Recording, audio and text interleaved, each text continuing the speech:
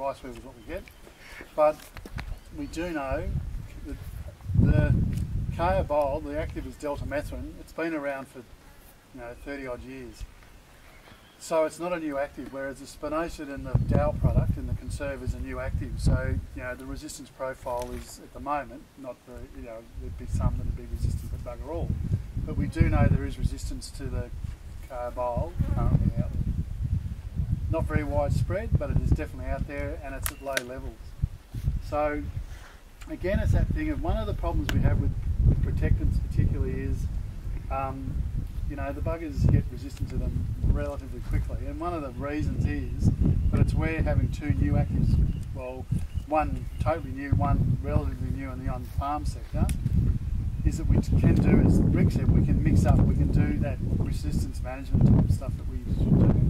Whereas previously when we just had Reldan or fenitrothion and mixed it with IGR, IGR was the only thing we were using for the lesser grain borers. So of course, it's only going to fall over sooner rather than later because that's all we use. So that's one of the things to think about. And again, for me, it becomes that thing of the long-term game. As I said, it really will be about moving away from protectants because Reckon in five years we'll bugger that one up. And just because it'll just happen anyway, because we've got that resistance.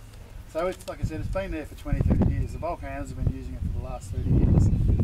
Does anyone remember a product called Bioresmethrin or BRM? Is it protectant? Yeah. Okay. That was synthetic pyrethroid, like what deltamethrin is, Bio. Do you know why we lost the use of that? You, do you remember it just suddenly disappeared? Basically, it was found in meat as a residue in meat product over in Japan or Korea.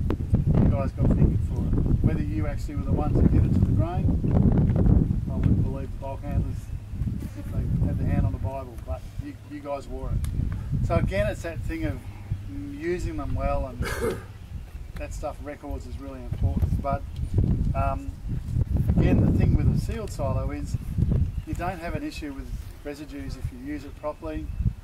The really good thing about them too is that when I, let's say that was a sealed silo that I was going to fumigate, on that silo there will be a little plate or you ring up the manufacturer which will tell me the volume of the silo, so how many cubic metres it is.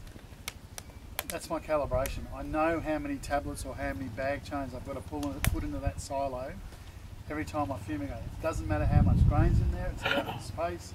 So 200 tablets have to go in there because that equates back to the, the label rate for, you know, for, for dosing it. That's how much I put in every time. With the two new products, it's really important that we um, that we apply them really accurately because they're both very persistent chemicals. They don't break down very quickly. And so Tony would remember the wonderful online training thing you would have done to do it, or you might have done it as a group with a